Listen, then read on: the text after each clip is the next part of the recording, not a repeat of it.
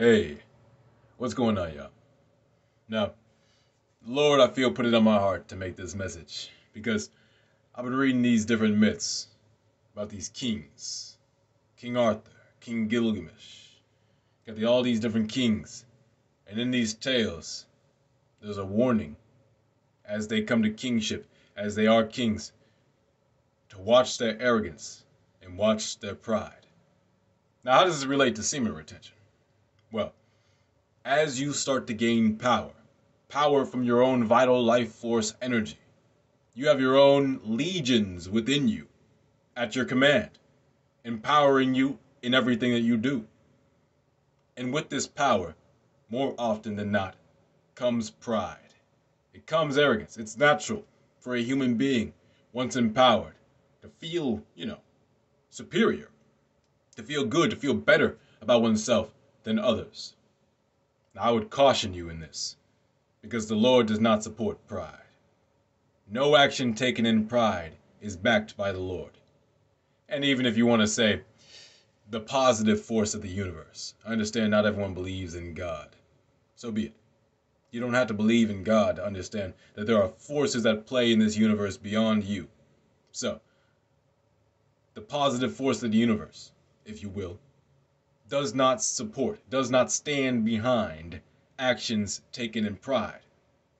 Actions taken in pride and arrogance, that supports the opposition. to positivity, negativity. You feeling like you're better than someone else, that's not a positive thing.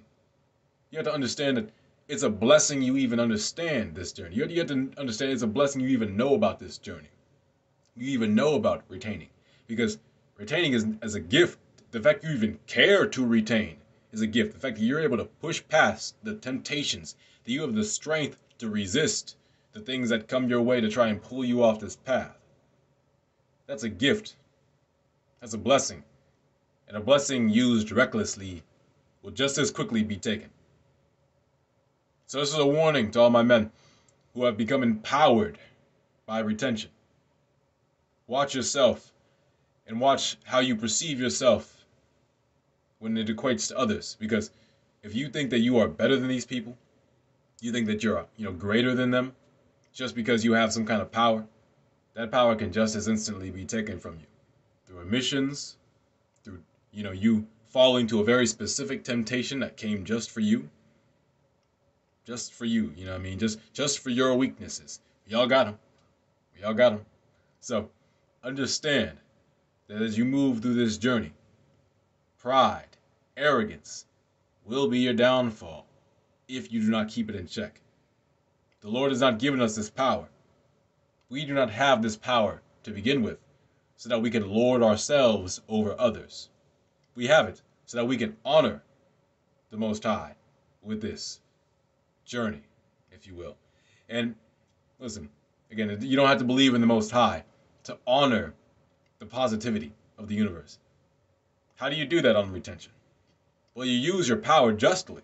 Ideally, you try and do something like this and help other men retain and, and reach this point, attain this point of retention.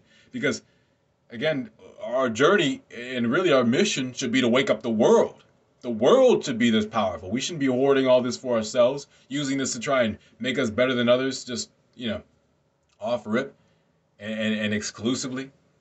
This isn't this isn't this is definitely a club, if you will. This is a club, you know what I mean? And when you're in this, bro, you know what I mean? We're, we are in a we are in a uh, I was gonna say sorority. We're in this, you know what I mean? We're we're in this thing together, essentially. We're in this together. And it's a very a select elect group of men who care to do this. But again, actions taken in pride are not supported by positivity. Rather, you're working for the opposition. And the opposition controls all the world. The opposition is a source of temptations. The opposition is a source of all these things that will be trying to pull you off your path. Again, you don't have to believe in Satan. You don't have to believe in any of that. But you can believe that when you were combing, when you were watching all that porn, all that they did, you were feeding yourself into, you were working for the opposition, you were sold by the opposition, on the side of the opposition. And even on this journey, the devil will do whatever he can to pull you away. And the first thing he'll do is get you in your pride, make you feel like you're better than other people because you're on this path. Listen, You just know a little more. You just care a little more. That doesn't make you better or worse than someone else. And really, that person could be just as strong, just as vital as you are, if they cared to retain, if they put in the effort and the work, or if they even just had the knowledge about it. Man, I tell you, if I understood when I was younger, 15, 16 about this, my whole life would be different.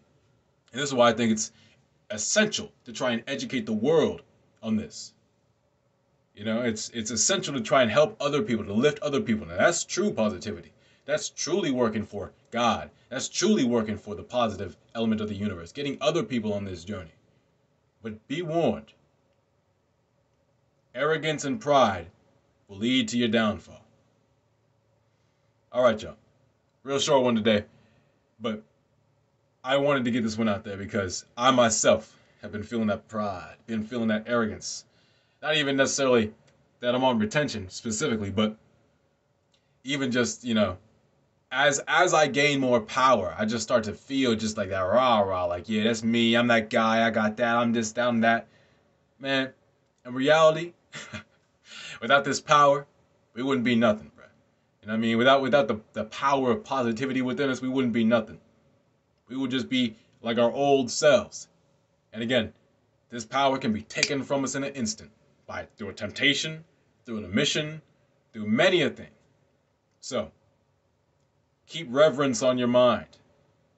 Stay humble, my friends. In this journey will be the longest road you've ever traveled down. It's a never-ending journey, and uh, we're always learning things along the way.